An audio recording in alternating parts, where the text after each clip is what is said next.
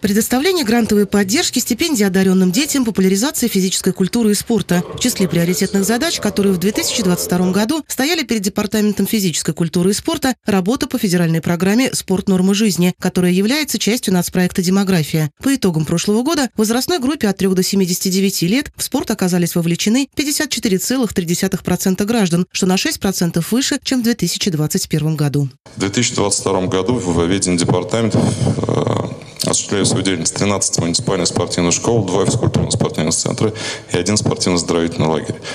Также в ноябре 2022 года в соответствии с постановлением администрации э, было создано муниципальное автономное учреждение Центр развития физической культуры и спорта. В 2022 году в Самаре работали 100 тренеров по месту жительства, которые оказывали самарцам помощь в организации и проведении районных праздников и спортивных мероприятий, таких как турниры дворовых команд по мини-футболу, соревнования по лыжным гонкам и другие.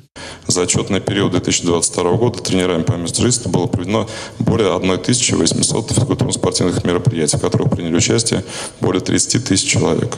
Активное участие Департамент физической культуры и спорта принимал и в организации летней оздоровительной кампании. В ее рамках в 2022 году были проведены 7 смен с общим количеством участников 1173 человека. Также с 15 по 26 июня была проведена профильная смена для детей с ограниченными возможностями здоровья. За год в черте города было организовано 274 спортивно-оздоровительных мероприятия для граждан. Наиболее значимое традиционное мероприятие – это Самарский лыжный марафон «Соколь горы», легкоатлетический забег, посвященный Дню космонавтики, Самар Самарский легкоатлетический фестиваль королева спорта, физкультурно-спортивная акция «Приходи на пляж, поиграем», физкультурно-спортивная акция «Выходная из ГТО», физкультурно-спортивная акция «Самара движение».